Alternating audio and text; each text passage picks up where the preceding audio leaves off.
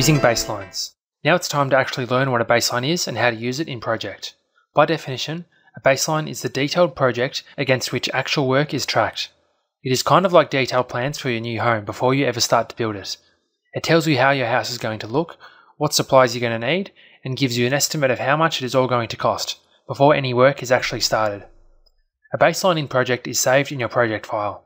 It exists alongside any activity that goes on with your tasks. A baseline is helpful to you for several reasons.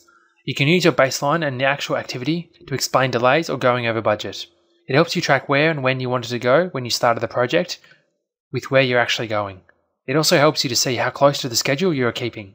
After you save a baseline and get some activity going, you get baseline and data, as well as baseline versus actual. You can save a baseline at any time by going to the Set Baseline dialog box. This is in the Project tab.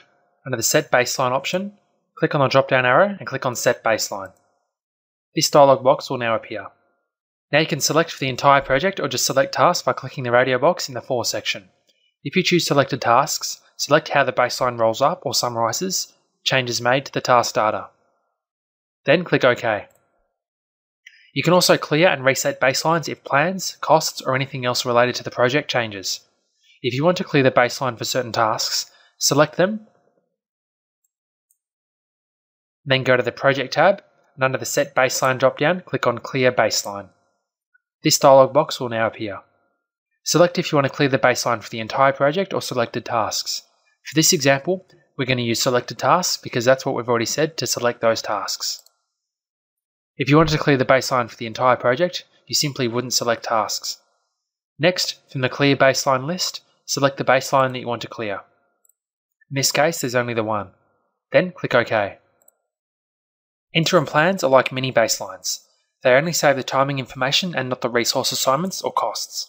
And this is only for tasks that have activity tracked on them, as well as baseline start and finish dates for all tasks that haven't yet started. An interim plan is a lot smaller of a file than a baseline. It is helpful to use to record date changes, but not overwrite original baseline cost data. You save interim plans using the same dialog box that you used to save your baseline. So go to the Project tab, and under the Set Baseline drop down arrow, click on Set Baseline. However, instead of checking Set Baseline, you'll check Set Interim Plan. Next, use the drop-down box to select the data you want to save to the interim plan.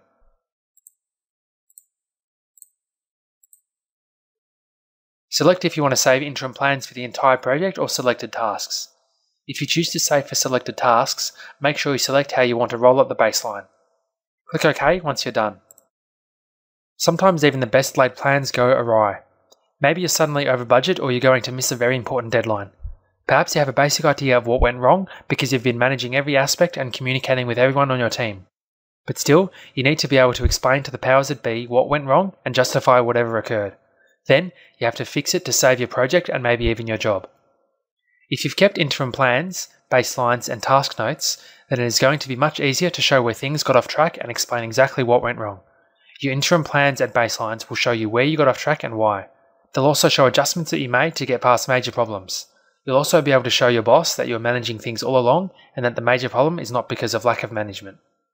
To view your baseline and interim plans, go to the Gantt chart view. Right click in the column area of the sheet pane and then click Insert Column.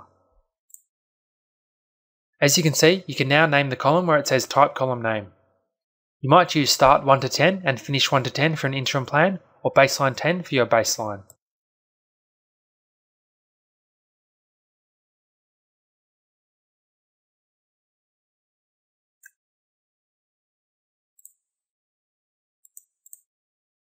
Repeat these steps for additional columns. Your task notes should tell you about resources assigned to a task, vendor problems, as well as late deliveries. You can also use these notes to show you what went wrong and to explain why. Here are some other things you can do to troubleshoot and possibly fix problems in the project. Resource leveling. This can solve conflicts with resources that may be holding up progress on your project. Cut costs.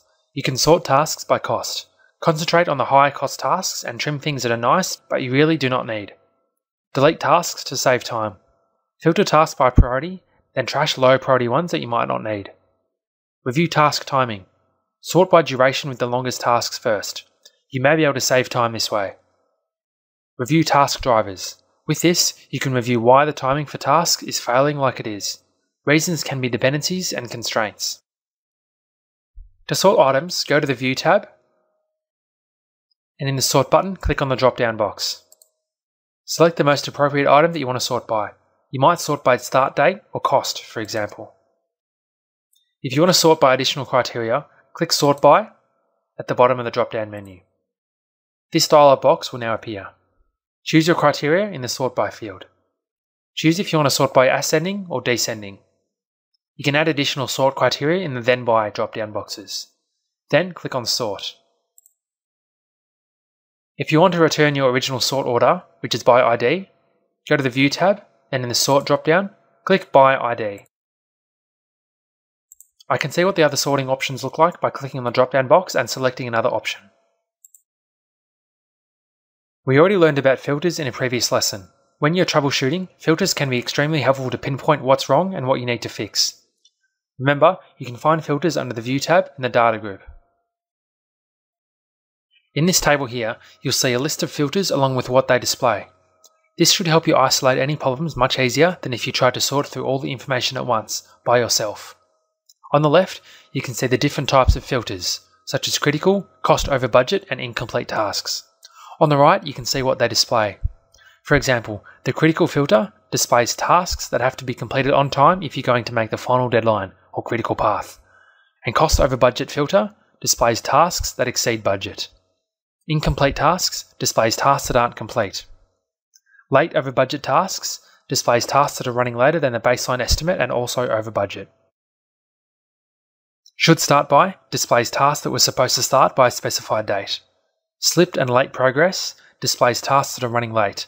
They also have no recorded progress.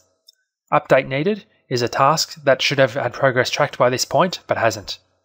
Over allocated resources displays tasks with resources that are overbooked. Slipping assignments displays tasks involving resource work that should have begun already. Work incomplete displays tasks that should have had all work completed already.